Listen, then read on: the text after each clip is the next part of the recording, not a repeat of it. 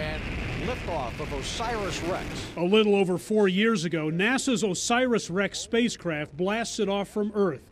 Its destination, an asteroid named Bennu, located more than 300 million kilometers from our planet.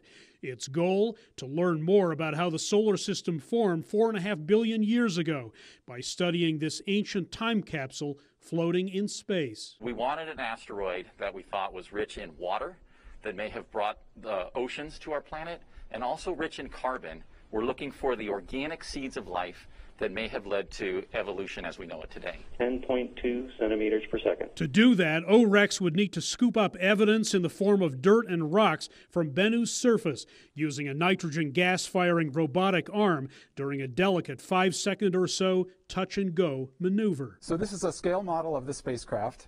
The arm is extended in the sampling position. The tricky, intensely planned exercise was made more challenging by Bennu's low gravity environment. Since arriving at Bennu in late 2018, the spacecraft has scouted the boulder strewn body for just the right landing site.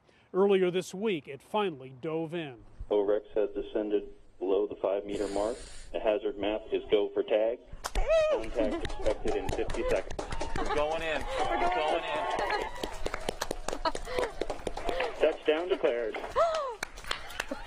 All right. Sampling is in progress. Seconds later, We're safely moving away from the asteroid surface. The spacecraft did everything it was supposed to do. How you guys feeling?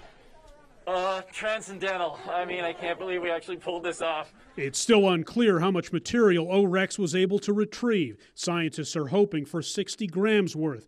The first images are encouraging. We're making contact with a relatively large rock, a little over 20 centimeters. Literally, we crushed it. Uh, when the spacecraft made contact, that rock appears to fragment and shatter, uh, which is great news.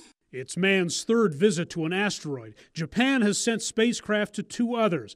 This mission is also aimed at discovering more about how asteroids behave and move.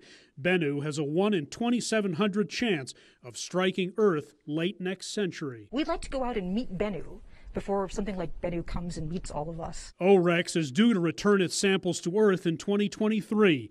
Then the critical lab work begins. Could an object like this have seeded Earth with the building blocks of life? Enric Sabrandi, CGTN, Denver.